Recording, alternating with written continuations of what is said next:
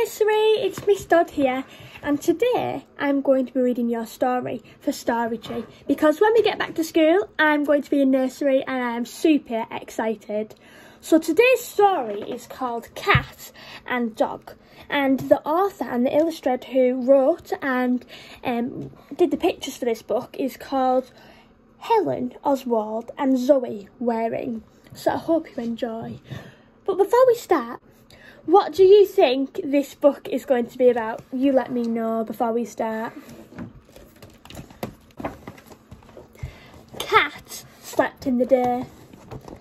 Dog slept at night. But every evening, as the sun went down, they met for a scrap.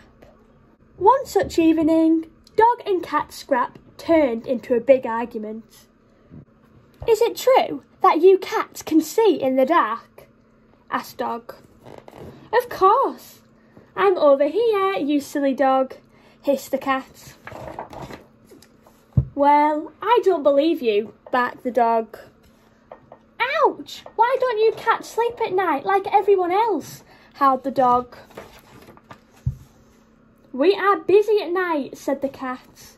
Silly cat, your life all upside down, said dog. Oh, no, it isn't. Oh, yes, it is. Cat and dog turned their backs on each other. Uh oh. It was the biggest argument they've ever had. Oh no, that's not very nice, is it? Evenings went by and both dog and cat stood their ground. Dog only came out during the day and cat only came out at night. Deep down, cat missed, scrapping with dog. And dog missed fighting with cat. But they were both too stubborn to say anything. Finally, one day, Dog gave in and whispered, I'm sorry.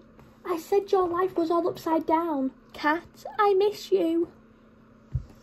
But Cat was fast asleep and didn't hear a thing. But one night, Cat gave in too and whispered, I'm sorry, I dropped an apple on your head, dog. I miss you. But Dog was fast asleep and didn't hear a thing. Oh, they look sad, don't they? The cat looks sad.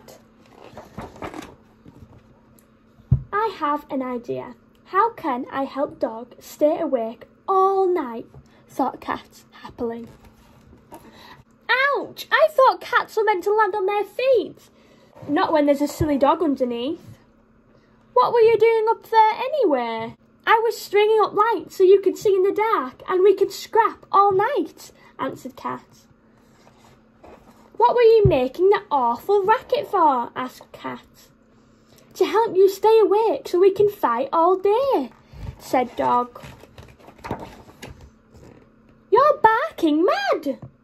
Well, you're hardly perfect. Let's be the best of enemies and scrap forever.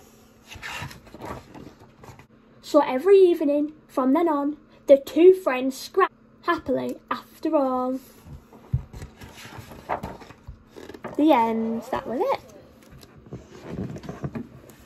I wonder, would you prefer to be the dog or the cat in this story? I wonder if you can let me know. And can you also let me know what you thought of this story as well? I'd love to know. But I hope you enjoyed it anyway. See you later.